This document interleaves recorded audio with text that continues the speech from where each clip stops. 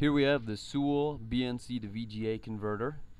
Includes an AC power adapter and an S-video cable if you want to use it with any S-video source. We're going to show you how to set it up to you so that you can use your BNC security camera like this one here on a regular VGA monitor. The benefit of this is save you a lot of money not having to buy a BNC monitor and you can use any old VGA monitor you got lying around. So of course first thing to do is to plug in the AC power adapter. Next we just plug in the VGA cable to the monitor.